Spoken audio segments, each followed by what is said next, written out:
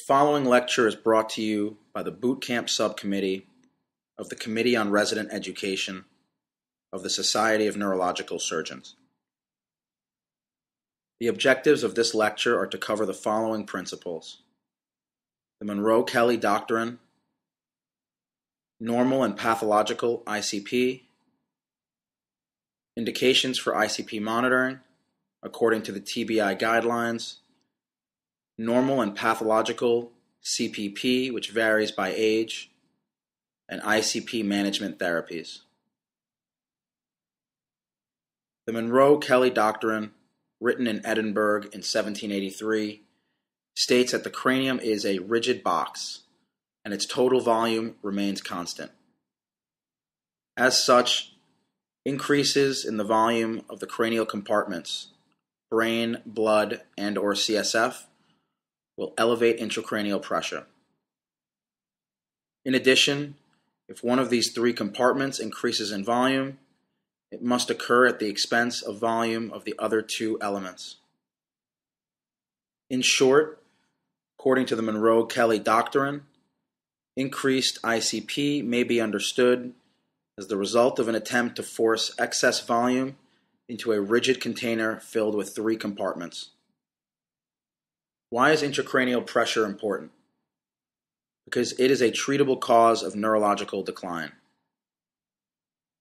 Clinicians must be able to recognize the signs and symptoms of elevated ICP.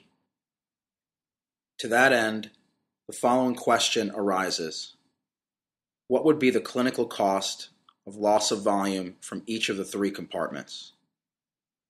The answer lies in looking for progressive neurological signs, looking at the three compartments at risk, and determining the effect of loss of volume from each. The principles of ICP treatment include the standard ABCs of resuscitation, maintenance of cerebral perfusion, avoidance of brain distortion, and limitation of brain edema. When calculating the cerebral metabolic requirements, one may estimate that cerebral metabolic rate of oxygen consumption equals cerebral blood flow multiplied by the arteriovenous difference of oxygen. Cerebral autoregulation is an important topic and has three major principles. Metabolic, meaning that CBF is proportional to brain demands. Pressure, meaning that CBF remains unchanged despite changes in blood pressure, intracranial pressure, or both. And viscosity, meaning that CBF remains unchanged despite changes in blood viscosity. Keeping it simple, cerebral autoregulation occurs by virtue of adjusting the diameter of resistance vessels. CO2 reactivity is another important concept. With hypercarbia, typically secondary to hypoventilation, cerebral vessels dilate and CBF becomes elevated. With hypocarbia, typically secondary to hyperventilation, cerebral vessels constrict and CBF is reduced. Hyperventilation may be used as a short-term therapy for elevated ICP. As stated previously, hyperventilation lowers CO2 levels, pH increases, and vasoconstriction occurs, thereby lowering cerebral blood volume and intracranial pressure rapidly. This maneuver is for the acute period only, however, as preventative hyperventilation retards recovery from severe head injury. Any hyperventilation is ideally accompanied by some form of monitoring of cerebral oxygenation, and in the absence of such monitoring, hyperventilation is used only as a last step in ICP control and always with sufficient arterial blood pressure. Mannitol is another therapy used to decrease high intracranial pressure and brain bulk during surgery. It also improves CBF by decreasing viscosity. Compensatory vasoconstriction, secondary to autoregulation, then occurs, bringing CBF back to baseline along with diminished cerebral blood volume and intracranial pressure. Guidelines for the management of severe traumatic brain injury were developed by the American Association of Neurological Surgeons and the Brain Trauma Foundation. In the most recent edition, levels of recommendation were changed from standard guidelines and options to level 1, level 2, and level 3, respectively. Recommendation levels 1, 2, and 3 are derived from class 1, 2, and 3 evidence, respectively. As a review, Class 1 constitutes prospective, randomized, controlled trials, the gold standard of clinical trials. Class 2 constitutes clinical trials in which reliable data were collected prospectively and analyzed retrospectively. Class 3 constitutes studies based upon retrospectively collected data, case review and reports, and expert opinion. The indications for intracranial pressure monitoring are as follows. Level 1 recommendations do not exist. Level 2 recommendations state that ICP should be monitored in all salvageable patients with a severe TBI and an abnormal computed tomography scan. An abnormal CT scan is one that reveals hematoma, contusion, swelling, herniation, or compressed basal cisterns.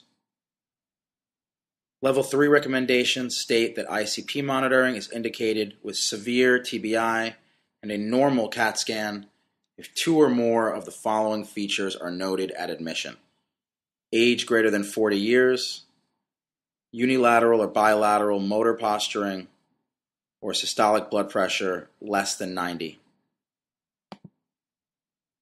This chart summarizes the level 1, 2, and 3 recommendations for ICP monitoring and ICP management. The indications for ICP monitoring we previously reviewed. The ICP threshold for initiating treatment are as follows. Level 2 recommendations being that treatment should be initiated for ICPs greater than 20. Level 3 recommendations being that treatment should be based upon a combination of ICP values and clinical and brain CT findings. ICP monitoring technology has advanced over time. A ventricular catheter is the most accurate, low cost, and reliable method of monitoring intracranial pressure. It also can be recalibrated in situ.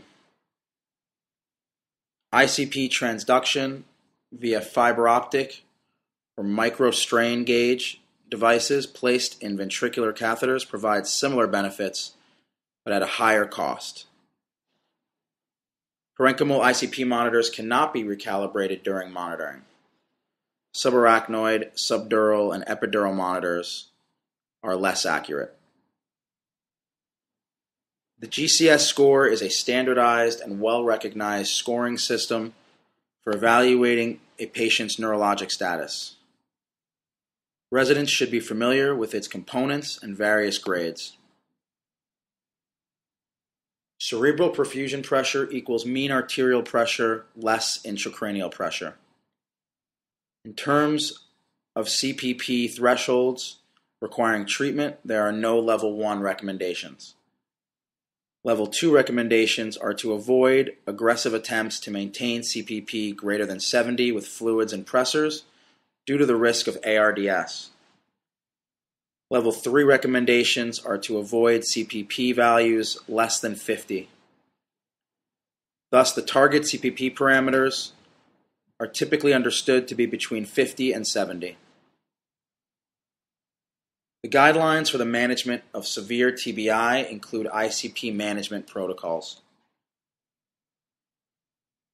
In general, ICP is managed in a stepwise progression, with treatment being escalated to the next level based upon a goal ICP of less than 20 and CPP of 50 to 70.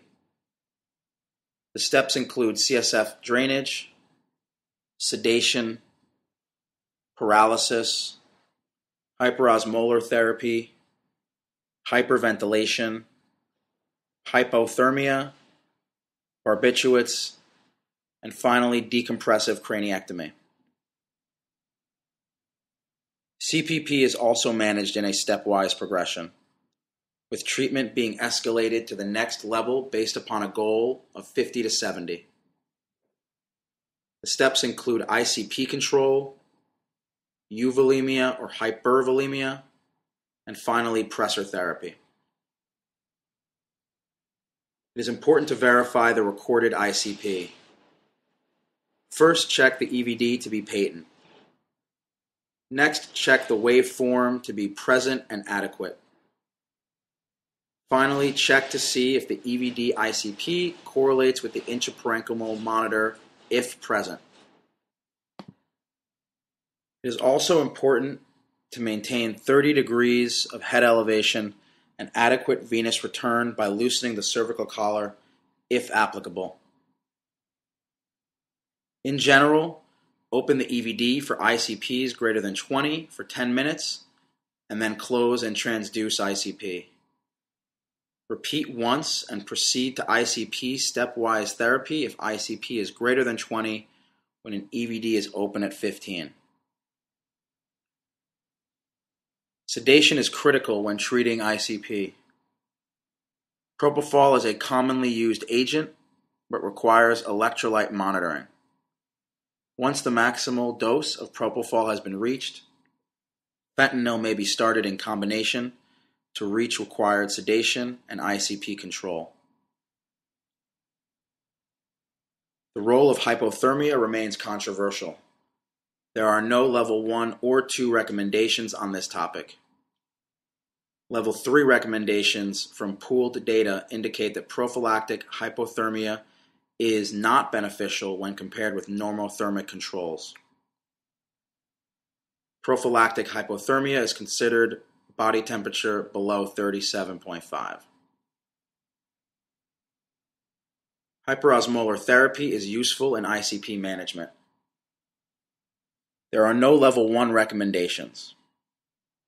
Level 2 recommendations suggest mannitol is effective for controlling raised ICP, while level 3 recommendations suggest using mannitol without ICP monitoring only in herniating patients.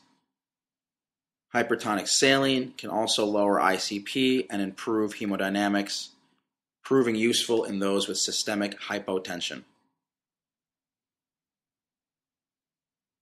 Hyperosmolar therapy may be initiated with a 3% hypertonic saline bolus of 250 cc's, being sure to check the serum sodium level beforehand. Mannitol may be used in emergency situations being sure at this point when using mannitol to check sodium and serum osmolality. A 3% saline drip may be started next. Again, sodium and osmolality must be followed. Avoid a sodium greater than 160, osmolality greater than 320, and sodium elevations greater than 10 over a 24 hour period. Hyperventilation may be useful in very specific circumstances. There are no Level 1 recommendations regarding this maneuver. Level 2 recommendations argue against prophylactic hyperventilation. Level 3 recommendations suggest hyperventilation may be used as a temporizing measure for severe refractory ICP.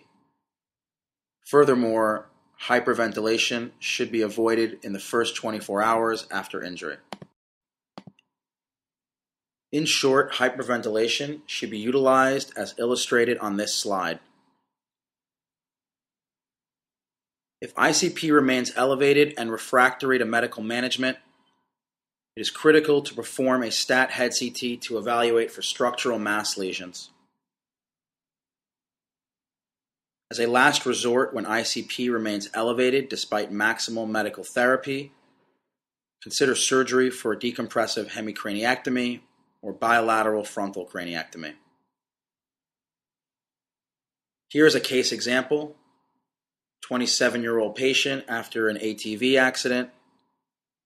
He arrived intubated eyes closed with only lower extremity movement. CAT scan revealed a right frontal contusion, sulcal effacement, and signs of cerebral edema. Patient was taken for decompressive craniectomy. Here are the post-op images. Here are the post-op images following replacement of the bone flap. Barbiturate-induced coma may be used for elevated ICP. There are no Level 1 recommendations for the use of these agents. Level 2 recommendations argue against prophylactic barbiturate use, and high-dose barbiturate administration only recommended in those patients with elevated ICP that is refractory to maximal medical and surgical treatment. Seizure prophylaxis is typically administered in TBI patients, as level 2 recommendations suggest anticonvulsants decrease the incidence of early post traumatic seizures.